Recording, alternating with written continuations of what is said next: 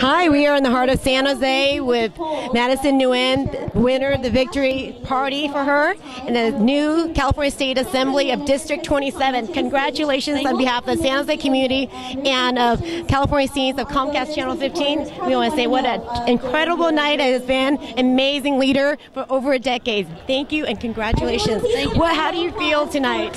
Well, I, I just, it's been an incredible night. Uh, obviously, we're leading uh, by double digits, which I'm very proud of.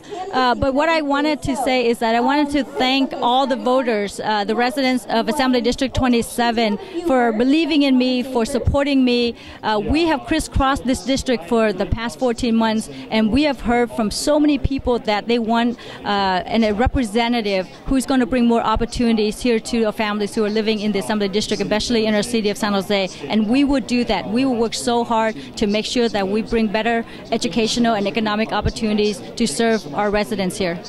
San Jose is so blessed, so honored to have you. We are so prepared for the many wonderful changes you're going to be doing. Congratulations again, and thanks for having us here. Thank you very much. Thanks. Be back.